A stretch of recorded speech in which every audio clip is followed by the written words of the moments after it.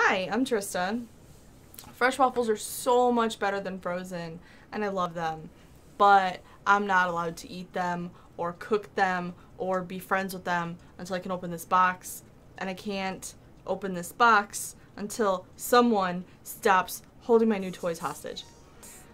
So, here is the unboxing and review of my Waring double Belgian waffle maker on Chandlee style.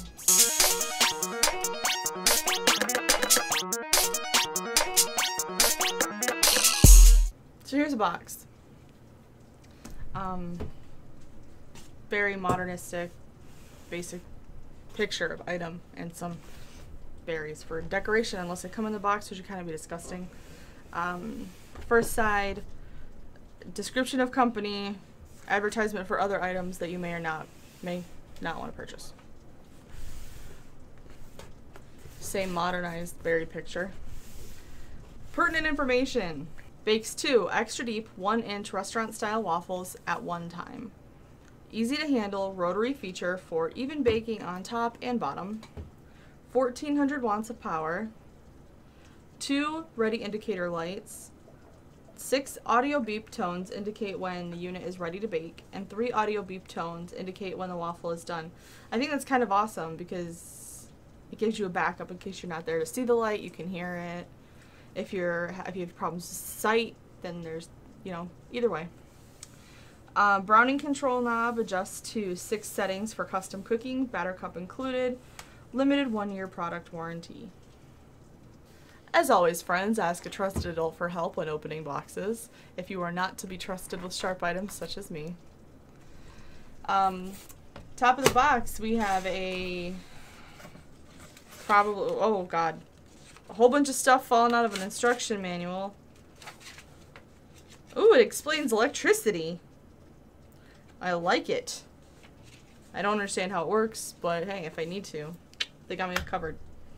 Uh, also at the top is their batter cup, which from what I've seen is approximately three quarters of a cup or six ounces. It looks like the handle would be wide enough to fit on like the edge of a bowl or something, but otherwise it's just a basic cup. Pretty cheap plastic. Now that it's out of the box, sort of smells like the inside of a Payless shoe store. It makes a lot of clicky noises, which are kind of fun. Ooh, ooh. Oh, it turns. Oh, it's fun. I like this clicky noise. And opens. Plastic, okay. Um, so far it looks pretty user-friendly, pretty straightforward. I have uh, seen on some of the reviews that these this latch here can be difficult to open, which does not seem to be the case right now. It's with almost no effort it's opening. Maybe that'll be different when it's hot. Who knows? But so far it doesn't seem to be a problem. Um, I really like the look of this grid plate. It's really got some very seriously sharp edges, which is good because um, that makes it distribute the heat more better, uh, which will help make it delicious and indicates good craftsmanship. Um, it's really heavy, which also indicates that there's a lot of metal and good quality items happening inside of here. Um, more plastic. Huh, I like I like it. I want to cook food and eat it. Um, yeah, like it looks. I like the little runoff trough. It looks really good. I, I'm stoked about it. It's really, really easy to turn and turn back. So that's a benefit because you have to turn it halfway through cooking. Um, it's just got a basic doneness dial here so you can choose how crispy or non-crispy you want your waffles. Though I don't know what you'd want on a crispy waffle. That sounds disgusting. On off switch, another label here which just says the stuff it does. Same stuff on the box, so I'm assuming that's just for display purposes. Uh, like in a store or something. Um, everything appears to be made of plastic except for this little plate here and obviously the iron itself so handling a while hot should be easy. one of the negative comments that I've seen uh, in different reviews is that it gets really hot when it's on, which why the exact purpose of the appliance is going to be a negative point, I don't really understand. But everything you should be touching while it's on is plastic. Aside from when you have to, you know, open it and take your waffle out, which shouldn't. Be careful when stuff is hot, okay, guys? Wear oven mitts. Don't burn yourself, basically. Just be grown ups. Don't let little kids use the waffle iron. Don't put little kids in the waffle iron. We should all be fine. Don't waffle your hands or your genitals. We'll all be good. Um, it's heavy, which indicates a lot of metal is in there, so that's good. It makes it less likely that it'll burn or scorch or melt anything, which can be a problem with some of the less expensive models. I did at one point have a really uh, cheap, cheap, cheap white plastic one that uh, didn't have any controls on it, and the first time I used it, it melt part of it melted, another part of it scorched and was brown. No, no.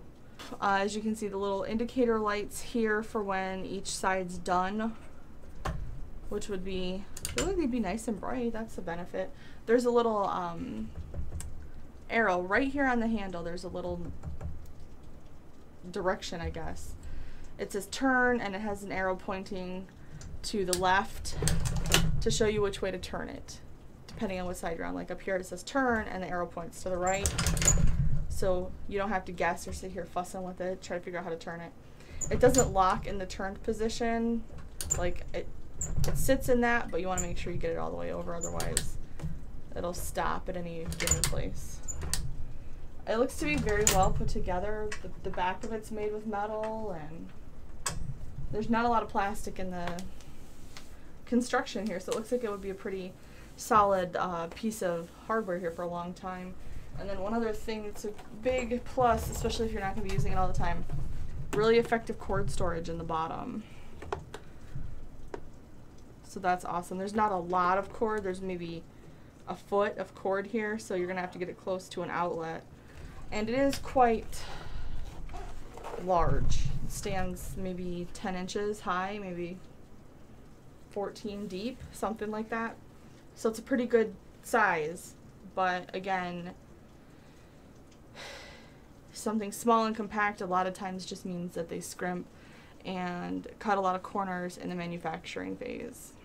Alright, now we've plugged in uh, to get some power going through it so we can check out the indicator lights and the sounds and to um, really get an idea of how hot this thing gets since it's a problem a lot of people seem to have with it. Which it's only been on for a couple minutes and I do have it cranked up to the highest heat setting here, but it is definitely warm. The handle, not warm.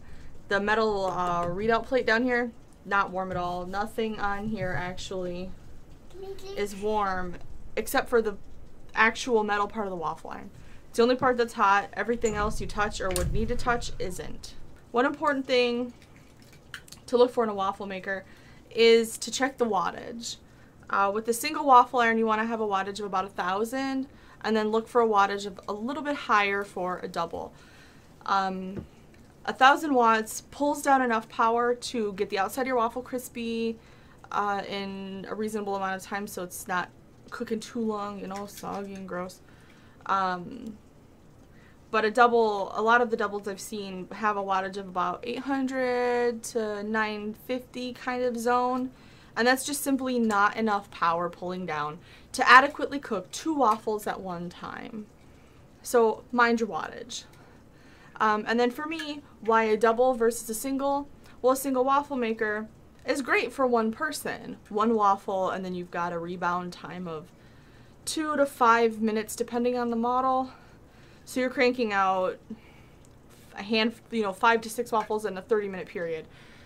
Well, when you're more than one person, in my case, a family of four, you need to pop your, you know, you need to do more than that. So this I can get two waffles in just a few minutes, and then there's a very short rebound time. I've seen just three to four minutes, and I've got another two waffles. So I'm getting double the amount of food in the same amount of time, which is really important to me. I've got children, and personally, I'm really impatient. I want to eat. I want to eat right now, or I'm gonna just get hangry and have a hissy fit. So I ain't got time for all that waiting. And there's a lot of really awesome options with waffle irons. People think it's it's a waffle iron. You make waffles. Well, you can put a million things in here, and really the only limit is your imagination. You can stick refrigerated cinnamon rolls in your waffle iron and make really cool things with refrigerated dough. And there's our indicator. The light's really bright on both sides. I don't know if you guys can see that light, but that light's really bright. And this room is got the most ridiculous lighting and I can still see the lights. Those indicator sounds were really loud, which actually comes into another part that was listed in the negative reviews, is that the indicator lights are hard to see, which I don't find that to be true. And you guys just heard the beeps. So I think we can cross that one off the list of reasonable complaints got a little hot. We had to turn it off, kind of circulate some air because this little space right next to me, it's getting a little toasty. Um, anyway, back to before. Um, refrigerated cinnamon roll dough is not the only thing you can do here. I've seen a lot of really great things happening with uh, people using refrigerated biscuit dough and any kind of stuffing. Um, mozzarella cheese and pepperoni, ham and cheese, so much stuff. You can stick in those and put them in here.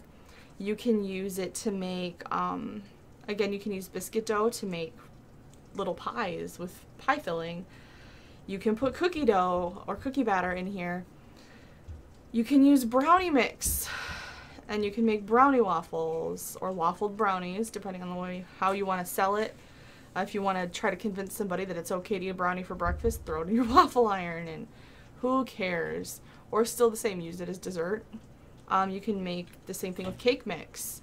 Um, I've seen people use them to make scrambled eggs and uh, one commonly known thing is to put um, like grated potatoes or uh, hash browns in there because they will get so crispy and it's super good.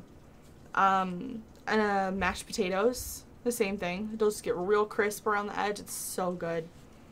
Um, tater tots, just let them hang out a little bit so they get kind of room temp and they're not like you're not just in there trying to like crush down your waffle iron on a frozen potato. Um, and then this one I've never tried, but I've seen it online and it sounds awesome is to take leftover stuffing and stick it in your waffle iron. I love the edge of the stuffing where it's been on the pan and it's all crispy and with the waffle iron sticking the stuffing in there you get all, that's all you get is the crispy edge. It sounds so good. Um, and that's not the only options you have. If you go on Pinterest, if you go on Google, type in what can I put in a waffle maker and literally millions of ideas and probably more that you can think of that haven't been put out there yet. So it's not a unitasker. it can do a infinite number of things. An infinite number of things. Okay, so we've had it down in our kitchen for about a week. We've made a variety of things to give you guys points about uh, pluses and minuses. Uh, the first thing we made, we made um, a out of a container of pancake mix. Uh, we used it on the highest setting so get really crispy and see how far that would take it, like how brown it was gonna get.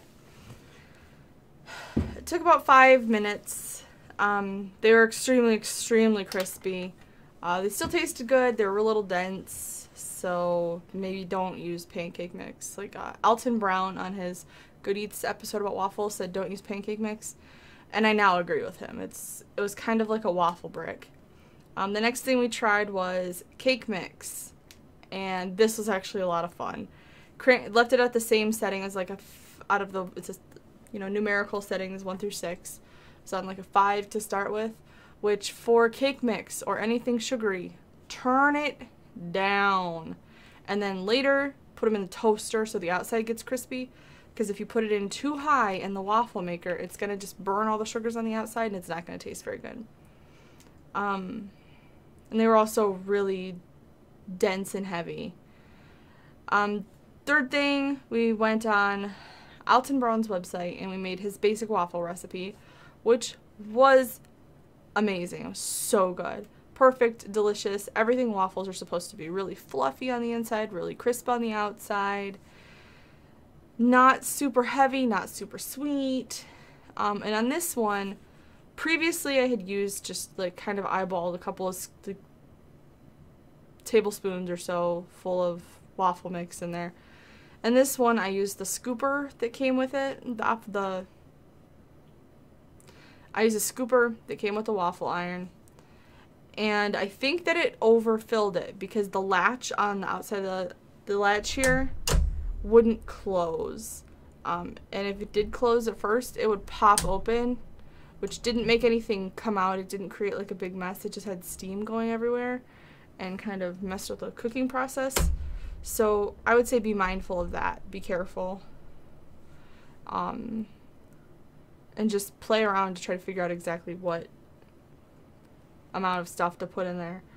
Um, one thing to note is put uh, the setting low and you can put your waffles in the toaster and then you can have frozen toaster waffles in the mornings. The last thing we've done is we took a tin or a little tube of uh, refrigerated like Pillsbury cinnamon rolls and stuck those in there. That was amazing. I want to eat that every day of my life. It was so convenient and fast. It took maybe five minutes instead of like 15 to 20 to cook a cinnamon roll or two cinnamon rolls. Uh, I smashed them a little bit so they would fit in there better. Um, and use like the uh, the flat ones that are just like dough pucks, not the grands like fancy spinny ones. Um, they crisped up real well without getting that burn. I don't know about anybody else.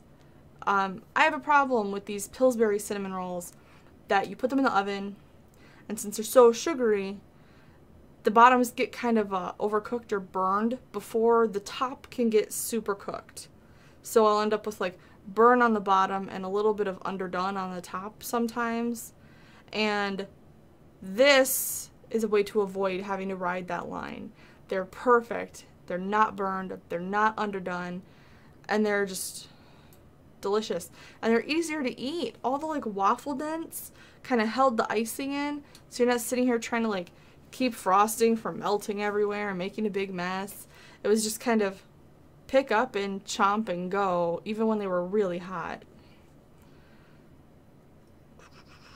Uh, those I put on maybe like a, just a little bit over medium setting, so like a four out of six.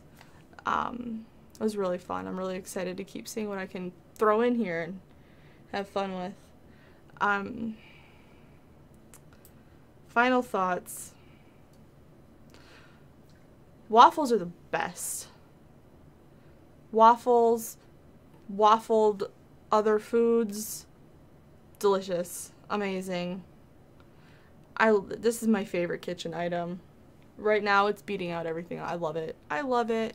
I want to use it all the time. Really just, it's definitely worth the money as far as I can tell. Be mindful, I guess, be mindful of how much um, food you're putting in there so the, that latch doesn't pop open. And be fat and happy. Food's the best. Thanks for watching my video. Uh, subscribe to the channel. Leave a thumbs up if you liked what was going on. Um, leave comments, questions, etc. below in the comments. And this has been a review of the Waring Double Belgian Waffle Maker on Chandlee style.